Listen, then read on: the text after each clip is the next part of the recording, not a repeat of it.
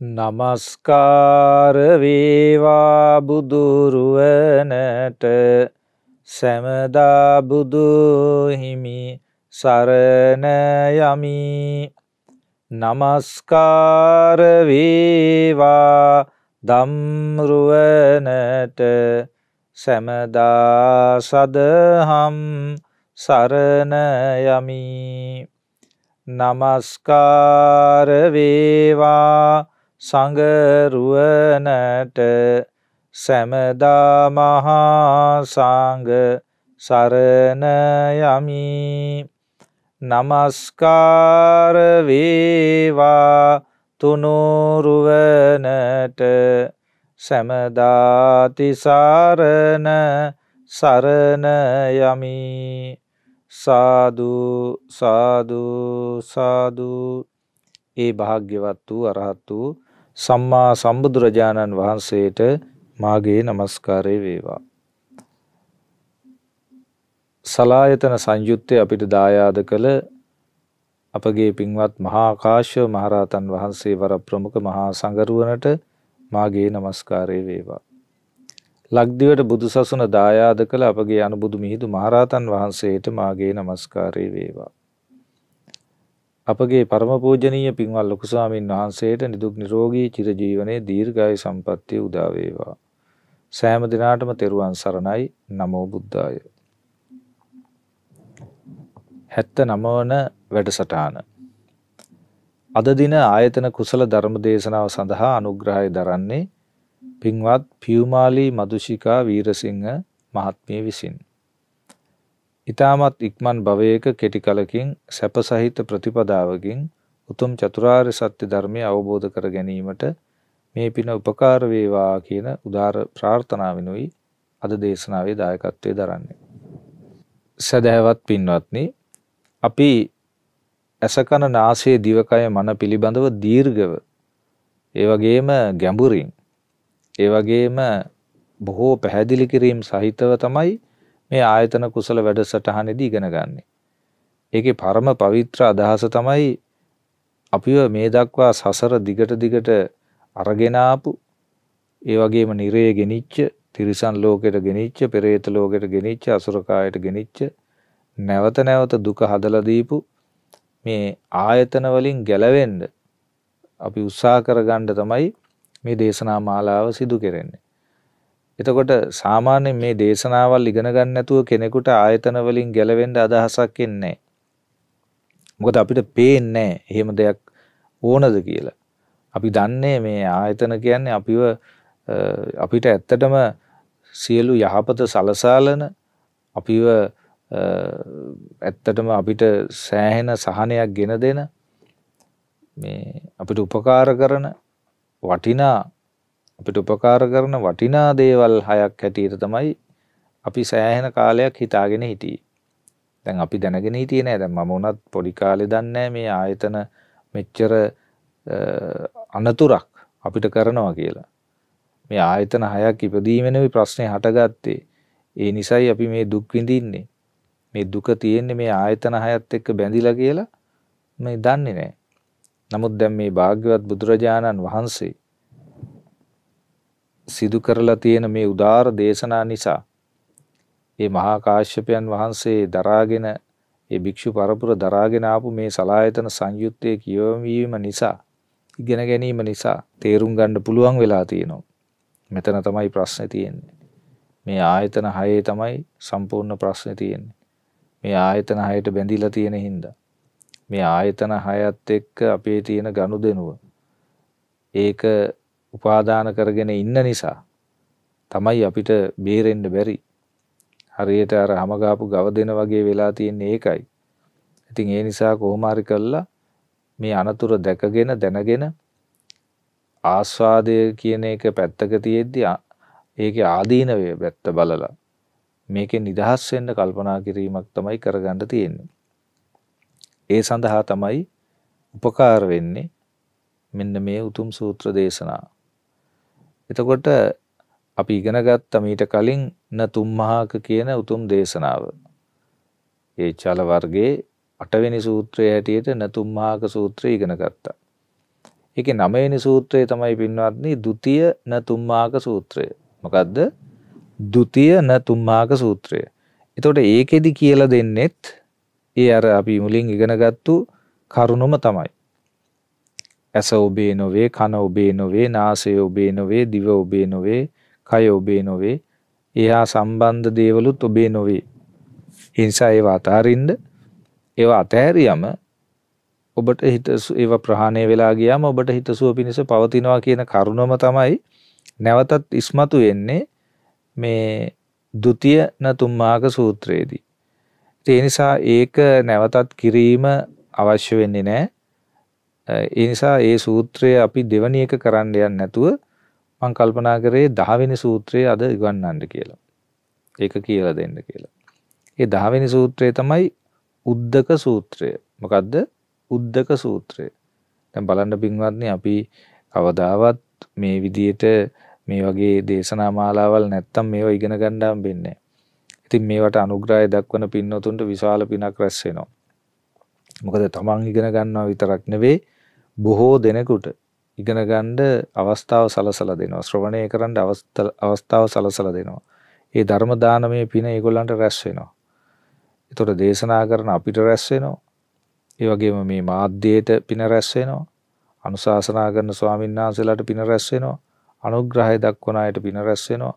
මේවා කාර්ය මණ්ඩලයට පින රැස් වෙනවා. බොහෝ දෙනෙකුට පින රැස් වෙන පින් උල්පත් පාදන මහානීය පිනක් තමයි මේ ධර්ම දානමේ පින.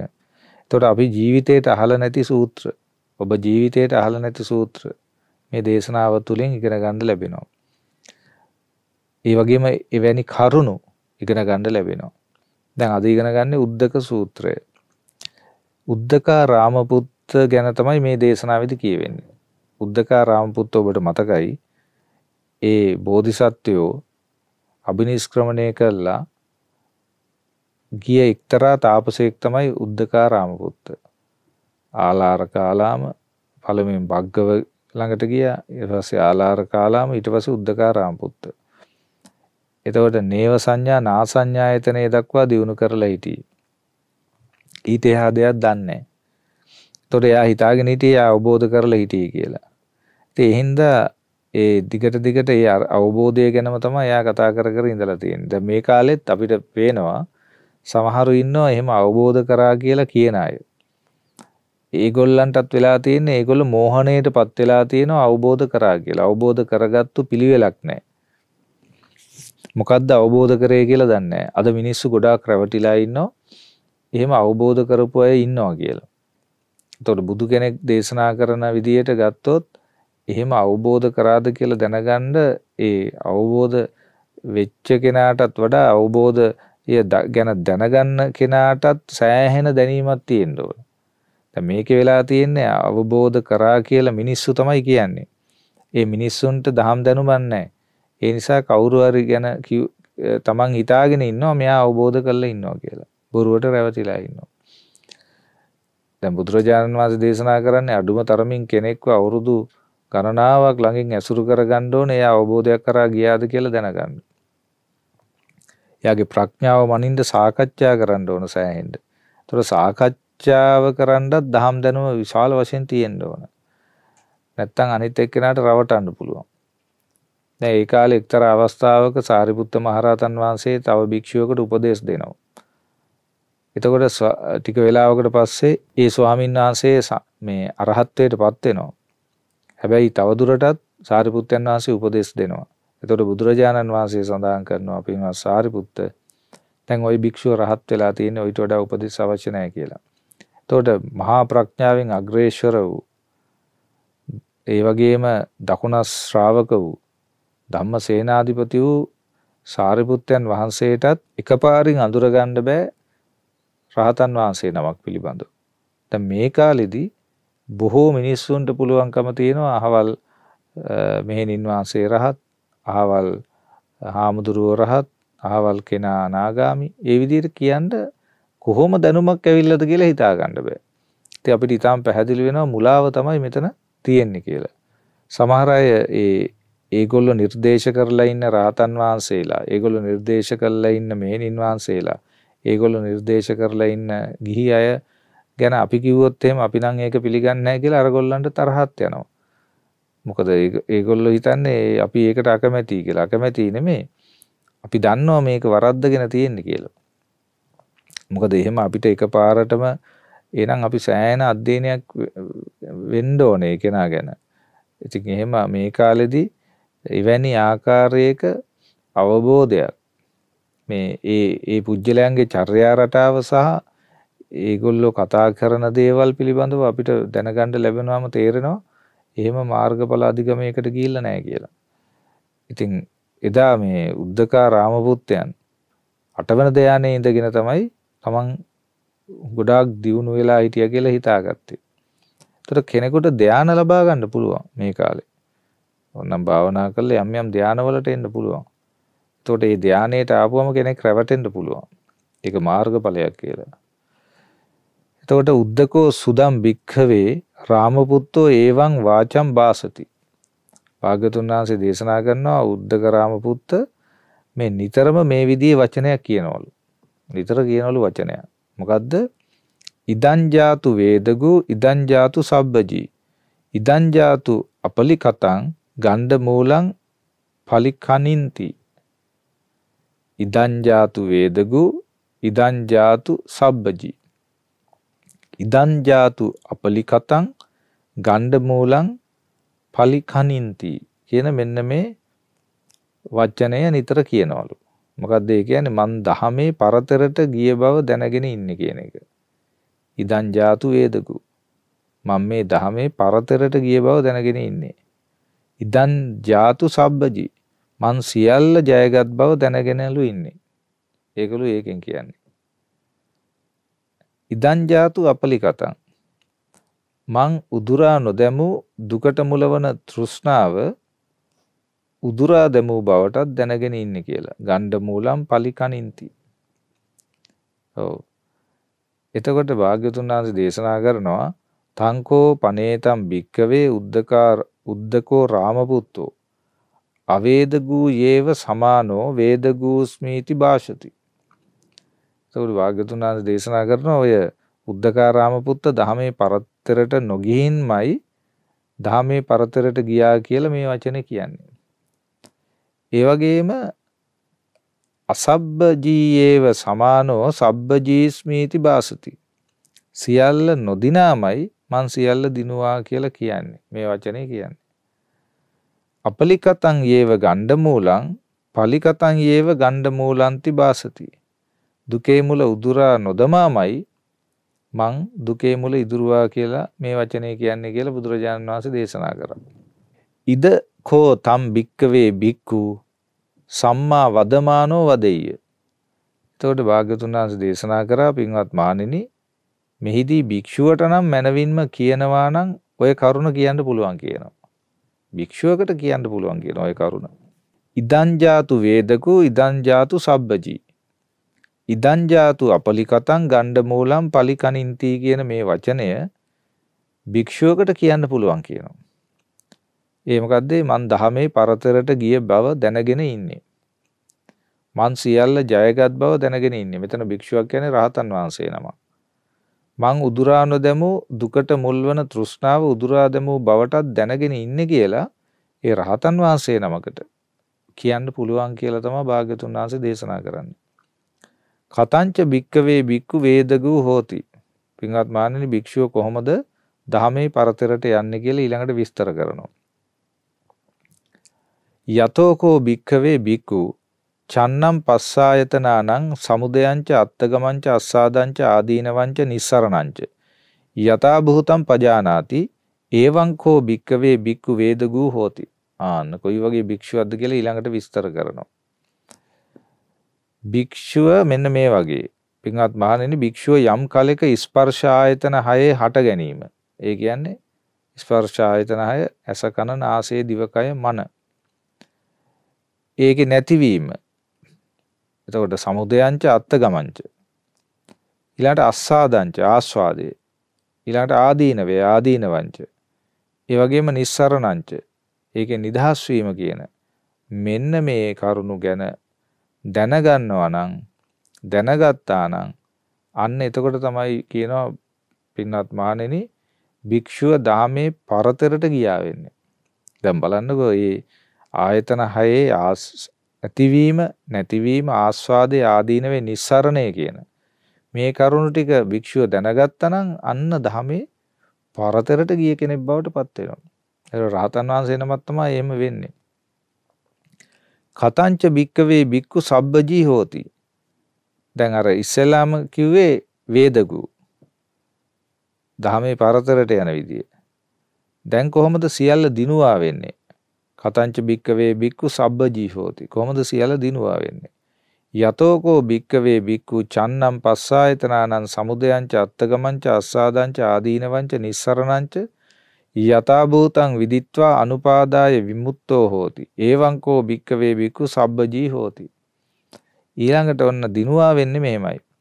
භික්ෂුව යම් කාලයක ස්පර්ශ ආයතන හයේ හට ගැනීමයි නැතිවීමයි ආස්වාදයයි ආදීනවයයි නිස්සරණය ඒ ආකාරයෙන්ම දැනගෙන උපාදාන රහිතව කෙලෙසුන්ගෙන් නිදහස් වුණා නම් අන්න එතකොට තමයි කියනවා භික්ෂුව සියල්ල දිනුවා කියලා කියන්න පුළුවන් වෙන්නේ.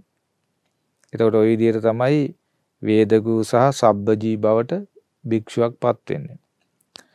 කතංච භික්කවේ භික්ඛූනෝ අපලිකතං ගණ්ඩ මූලම් පලිකතං හෝති. ඊළඟට විස්තර කරනවා මේ කොහොමද භික්ෂුව උදුරා නොදමන ලද දුකෙහි මුලවන තෘෂ්ණාව උදුරා දැමුවා වෙන්නේ. ඒ තණ්හාව උදුරා දැමුවා වෙන්නේ කොහොමද? ගණ්ඩෝතිකෝ භික්කවේ ඉමස්සේතං චාතුම්මහා භූතිකස්ස කායස්ස අධිවචනං මාතා පෙත්තික සම්භවස්ස ඕදන කුම්මා සූපය වස්ස අනිච්චුච්ඡාදන පරිමද්දන බේදන විද්දංසන ධම්මස්ස ඔන්න විස්තර කරගෙන යනවා. භික්ෂුව කොහොමද මේ උදුරා නොදමන ලද දුකෙහි මුලවන තෘෂ්ණාව උදුරා දැමුවා වෙන්නේ පින්වත් මහණෙනි සැරව හටගත් gediya gaduව යනු මව්පියන්ගේ ලේ අසූචියෙන් හටගත් බත්මාලු පිනිවලින් වැඩුණු අනිත්‍ය වූ ඉලීම් පිරිමැදීම් කරතත් බිඳෙන සුළු වෙනසී යන සුළු සතර මහා භූතයන්ගෙන් හටගත් මේ කයට කියන නමක්. එතකොට ගණ්ඩ මූලන්තිකෝ භික්කවේ තණ්හායේතං අදිවචනං ඊළඟට සැරව හටගත් gediye මුල යනු පින්වත් මානිනි මේ තණ්හාවට කියන නමක්. යතෝකෝ භික්කවේ භික්කුණෝ තණ්හා පහීනා හෝති. උච්චින්න මූලා තාලා වත්තු කතා අනවභාව කතා ආයතින් අනුපාද ධම්මා. ඒ වගේම යම් දවසක භික්ෂුවගේ තණ්හාව ප්‍රවිහින වුණාද ප්‍රහීන වුණාද? මුලින්ම ඉදිරී ගියාද? කරටේ සිඳුණු තල්ගසක්ම වූවාද? ආයේ කවදාවත් නූපදින ස්වභාවයට පත් වුණාද? ඒවංකෝ භික්කවේ භික්ඛුනෝ අපලිකතං ගණ්ඩ මූලම් පලිකතං හෝති. අන්න එතකොට තමයි ඒ භික්ෂුව උදුරා නොදමන ලද දුක් මුල උදුරා දැමුවා වෙන්නේ කියලා අර ඒකත් සම්පූර්ණයෙන්ම විස්තර කරනවා. පින්වත් මහණෙනි උද්දකරාම්පුත්ත නිතර මේ විදිහේ වචනයක් කියනවා. මොකද්ද? ඉදං ජාතු වේදගු ඉදං ජාතු සබ්බජි. ඉදං ජාතු අපලිකතං ගණ්ඩ මූලම් පලිකනින්ති. ඉතින් මං දහමේ පරතරට ගිය බව දැනගෙන ඉන්නවා. මං සියල්ල ජයගත් බව දැනගෙන ඉන්නවා. මං උදුරා නොදැමූ දුකට මුලවන තෘෂ්ණාව උදුරා දැමූ බවත් දැනගෙන ඉන්නේ කියලා. හැබැයි එහෙම කිව්වට බුදුරජාන් වහන්සේ දේශනා කරනවා ඒ උද්දකා රාමපුත්ත දහමේ පරතරට නොගොසින්මයි දහමේ පරතරට ගියා කියලා කියන්නේ. ඒ වගේම සියල්ල නොදිනාමයි සියල්ල දිනුවා කියලා කියන්නේ. දුකේ මුල උදුරා නොදමාමයි දුකේ මුල ඉදුරුවා කියලා කියන්නේ. ඉදකෝතම් භික්කවේ භික්ඛු සම්මා වදමානෝ වදෙය.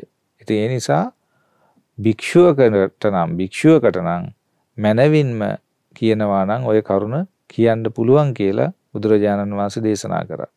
එතකොට එහෙම දේශනා කරන්න පුළුවන් වෙන්නේ කොහොමද? වේදගු කියන தത്വයට එන්නේ කොහොමද? සබ්බජී කියන தത്വයට එන්නේ කොහොමද? ඒ ගණ්ඩමූලම් පලිකනින්ති ඒ කියන தത്വයට. එතකොට අපලිකතං ගණ්ඩමූලම් පලිකතං හෝති කියන தത്വයට එන්නේ කොහොමද? අන්න ඒවා සියල්ලම මේ දැන් සූත්‍රයේදී හොඳටම විස්තර කරලා දුන්නා. ඒ නිසා උද්දකාරාම පුත්ත නිකන් කටවචනයට කියාගෙන ගියාට එහෙම අවබෝධයක් නැහැ. මේ කාලෙත් මේ කාලෙත් අපිට පේන්නේ එහෙමනම් ගොඩාක් අය කියන්නේ බොහෝ දෙනෙක් මේ මේ විදියටම අවබෝධයක් කරගන්න බැරුව තමන් ඉතින් කටින් කියාගෙන යන පිරිසක් තමයි අපිට දකින්න ලැබෙන්නේ. ඉතින් මේ වගේ ගැඹුරකට දියුණු කරපු අය අපිට හොයාගන්න අමාරුයි. ඒ නිසා පින්වත්නි බුදුරජාණන් වහන්සේගේ ඒ ධර්මානුකූලව අපි ඉතින් උත්සාහ කරගෙන යන්න ඕන. ඒ තුලින් අපි මේ මාර්ගයේ වඩා ගන්න උත්සාහ කරන්න ඕන. ඒ නිසා ඔබ සියලු දෙනාට ඒ ආකාරයෙන් ඒ වාග්ය වාසනාව උදා වේවා. අද දවසේ ආයතන කුසල ධර්ම දේශනාව සඳහා අනුග්‍රහය දරන්නේ පින්වත් මදුෂිකා වීරසිංහ මහත්මිය විසින්. ඊටමත් ඉක්මන් භවයක කෙටි කලකින් සැප සහිත ප්‍රතිපදාවකින් උතුම් ධර්මය අවබෝධ වෙන්න කියන ප්‍රාර්ථනාව තියෙනවා. ඒ නිසා එතුමියට මේ පිනේ බලයෙන් ඊටමත් ඉක්මන් භවයකදී කෙටි කාලයකින් සැප සහිත ප්‍රතිපදාවකින් උතුම් චතුරාර්ය සත්‍ය ධර්මය අවබෝධ කරගන්න වාසනාව උදා වේවා. පින්වත් සක්දෙවිඳුන්ට විස්කන් දේවපුතුට දතරාෂ්ට විරූඪ විරූපාක්ෂ වෛශ්‍රවණ යන සතරවරන් දෙව් මහ රජදරුවන්ට ආලවක දෙවියන්ට සීලු සෙම්පති දෙවරුන්ට සදෙව්ලෝ වාසී දෙවරුන්ට බ්‍රහ්මකායික දෙවරුන්ට සුමන සමන් දෙවියන් ඇතුළු මේ පින්බිමට අධිපති ප්‍රදේශාධිපති සියලු දෙවියන්ට මේ පින් අනුමෝදන් කරමු අනුමෝදන් වෙත්වා. ඒ සියලු දෙවියෝද උතුම් චතුරාර්ය සත්‍ය ධර්මය අවබෝධ කරගනිත්වා. පින්වත් අපගේ ලොකු ස්වාමින් වහන්සේට අපගේ පරම කල්යාණ මිත්‍ර පින්වත් ලොකු ස්වාමීන් වහන්සේට මේ සීල පින් අනුමෝදන් කරමු අනුමෝදන් වෙත්වා. උනාසේ නිදුක් වේවා නිරෝගීව සුවපත් වේවා. උතුම් චතුරාර්ය සත්‍ය ධර්මය අවබෝධ කර ගනීවා. 2019යි 6යි 20 වෙන දින මිය පරලෝකීය පියාණන්ටත් පුංචි බණ්ඩා කිරියත්තාට දිනපාල කිරියත්තාට ඩිංගිරි මණිකා කිරියම්මාට නිමල් මාමාට සහ ස්වර්ණලතා නැන්දාට මේ පින් අනුමෝදන් කරපු අනුමෝදන් වෙත්වා. ඒ සියලු දෙනාද උතුම් චතුරාර්ය සත්‍ය ධර්මය අවබෝධ කරගනිත්වා.